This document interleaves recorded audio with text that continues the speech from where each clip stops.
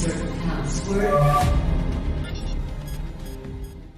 guys, IrwinTech here, back with another video. Today we're going to be showing you how to run macOS 8 inside of an app on your Chromebook, so I hope you enjoy. If you haven't already, make sure to smash the subscribe button with notifications on. That would really help me out. You're probably wondering, why should I subscribe with notifications on? Well, it's because I upload daily tech and Chromebook content just like this for you guys. So let's go ahead and get right into it.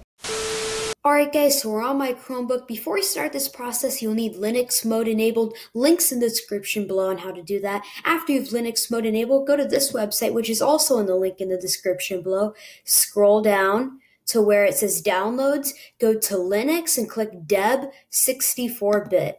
Click on that. It'll start downloading a file in the bottom right hand corner of your screen. We'll need to install this app and run it on our Chromebook, so I'll be back when it's fully done downloading. 12 seconds later. Alright guys, so once it's done, it'll be downloaded in the bottom right hand corner of your screen. Click Show in Folder. Go ahead and double tap or right click with two fingers and then click Install with Linux Beta or just double tap. Click Install. Click OK. And then wait for it to done be installing in the bottom right hand corner of your screen. So we'll be back when it's fully done installing.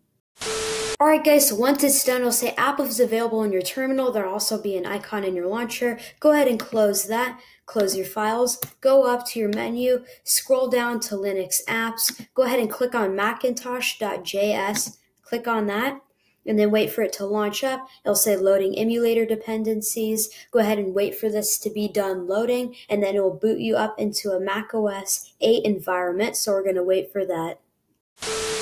Alright guys, so once you're in, you'll be at this screen. You can have games to play, apps to play, videos, and you basically can't do much, but it's just a nice taste to see what it was back in 1991 with Mac OS 8. You can play some games, open some apps, look at some sick videos. You can read the Welcome to Macintosh JS, and you can basically explore the operating system. So this is how you get Mac OS 8 inside of an app on your Chromebook.